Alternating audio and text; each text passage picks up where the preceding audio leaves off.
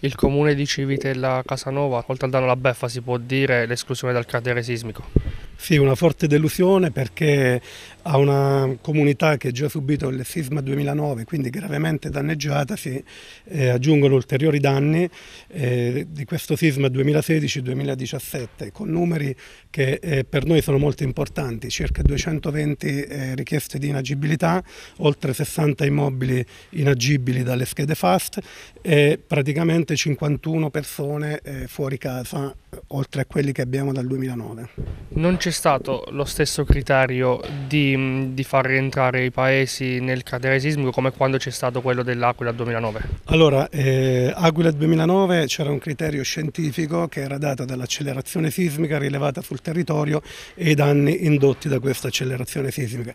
Adesso noi siamo curiosi di sapere quali sono i, i criteri che hanno determinato l'ingresso o l'esclusione dei comuni in questo cratere.